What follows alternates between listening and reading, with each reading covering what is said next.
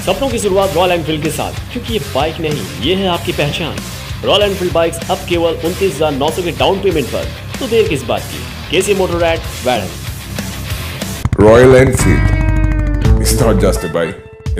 feel of नमस्कार Singrauli live में आपका स्वागत है। मैं हूँ नम्रता सिंह आपके साथ। आइए आगे बढ़ते हैं खबरों की ओर।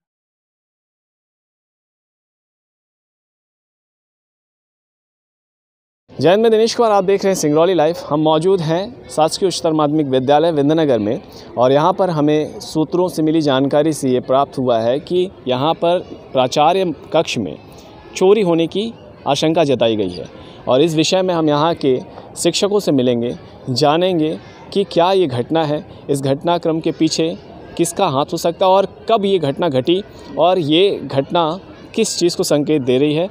आइए जानते हैं। तो हमारे साथ चर्चा में जुड़ चुके हैं पीसी पटेल जी उच्च माध्यमिक शिक्षक हैं। सर क्या घटना हुई थी? ज़रा विस्तार से बताएँ। शहरा डेली तो स्कूल हम लोग साढ़े दस बजे आया करते थे लेकिन कलेक्टर साहब के निर्देशानुसार स्कूल नौ बजे से ओपनिंग करने के लिए निर्देश प्राप्त हुए हैं। तो डेली की बात हम साढ़े आठ बजे विद्यालय पहुँचे। विद्यालय में देखे कि प्रिंसिपल कक्ष का ताला टूटा हुआ था। करीब जाकर हमने देखा तो क्षतिग्रस्त अवस्था में था। तो प्रिंसिपल मैडम इस समय मेडिकल अवकाश में चल रही हैं।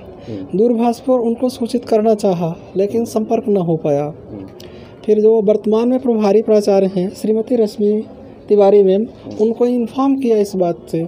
और जल्दी ही हमारा पूरा स्टाफ आ गया। और सबके आने के बाद हम लोगों ने उचित ये समझा कि पहले पुलिस को इन्फॉर्म करें।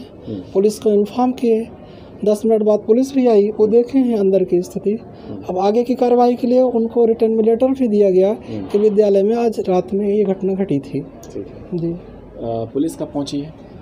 पुलिस आई हमारे यहाँ दस बजे दस बजे सुबह। जी जी सुबह दस बजे। जी। और क्या लगता है यहाँ पर जब आप लोग अंदर गए होंगे पुलिस भी गई होगी जी जी तो हाँ क्या गई देखने ना को मिला हम लोग जब अंदर गए तो हमारी स्वयं की एक अलमारी है प्राचार्य महोदया की। एक बड़ा बॉक्स है जिसमें स्कूल के कुछ आइटम्स रखे हुए हैं। वो सब खुले हुए अवस्था में मिले अलमारियाँ दोनों टूटी मिली थी। प्रिंसिपल मैडम की टेबल में जो दराज वगैरह थी वो भी तोड़ी और क्षतिग्रस्त अवस्था में पाई गई। ऐसी घटना को आप लोग किस नज़र से देख सकते हैं? अब हम क्या बताएँ सर कि किसने ऐसी चीटिंग की? कुछ का पाना बड़ा मुश्किल हो रहा है। हाँ क्योंकि यहाँ तो केवल शासकीय अभिलेख वगैरह रहते हैं एक कंप्यूटर और प्रिंटर है जो बिल्कुल सुरक्षित रखा हुआ है। तो हम लोग गेस नहीं कर पा रहे हैं कि चोर अगर आया तो किस लिए आया? अच्छा।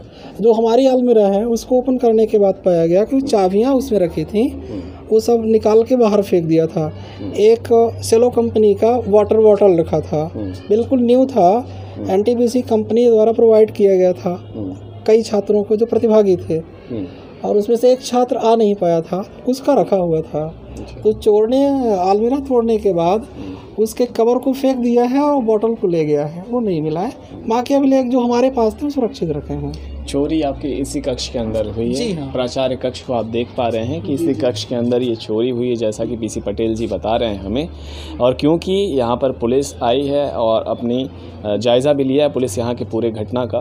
और हम इसके अंदर अभी जाने की अनुमति हम खुद नहीं लेना चाहते क्योंकि ये यहाँ पर पुलिस ने अपना कार्रवाई किया हुआ है। लेकिन इस प्रकार की चोरी किस घटना को संकेत देती है, ये आने वाला वक्त बताएगा। जाँच का विषय है ये। जयंत बर्मन के साथ मैं दिनेश कुमार, सिंगरौली लाइव हिंद